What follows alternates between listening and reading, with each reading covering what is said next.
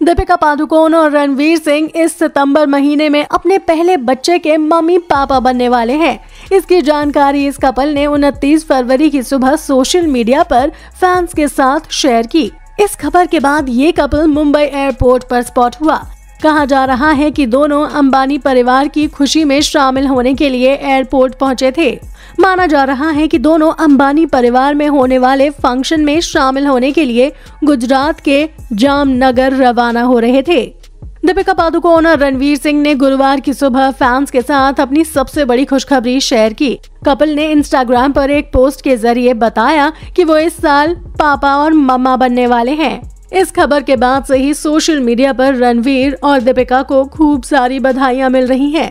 खबर शेयर करने के बाद गुरुवार शाम ये कपल मुंबई एयरपोर्ट पर स्पॉट हुआ। उनतीस फरवरी की शाम को मुंबई एयरपोर्ट पर इस कपल को स्पॉट किया गया। हमेशा की तरह इस बार भी ये कपल एक दूसरे का हाथ थामे नज़र आए और ये दोनों एक जैसे कपड़े, यानी व्हाइट थीम के ट्विनिंग कपड़ों में नज़र आए। और खास बात ये थी कि इस मौके पर रणवीर अपनी पत्नी मस्तानी का पूरा ख्याल रखते हुए दिख रहे थे।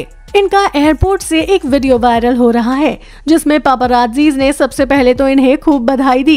इनकी बहुत सारी फ़ोटोज़ क्लिक की। उसके बाद थोड़ा आगे चलते ही फैंस ने इनको फूलों का गुलदस्ता दिया और साथ में केक भी काटा। इस मौके पर रणवीर और दीपिका के चेहरे पर बेहद ही अलग सा नूर नज़र आ रहा था। वहीं एक्ट्रेस के डिलीवरी मंथ की बात करें तो आपको बता दें कि वो सितंबर में बच्चे को जन्म देंगी हालाँकि अभी तक तारीख का खुलासा नहीं हुआ है आपको बता दें कि इस वक्त दीपिका पादुकोण दो महीने की प्रेग्नेंट है तो दोस्तों, आप दीपिका पादुकोण और रणवीर सिंह की इस गुड न्यूज़ से कितने एक्साइटेड हैं? आप अपनी राय हमें कमेंट करके ज़रूर बताएँ।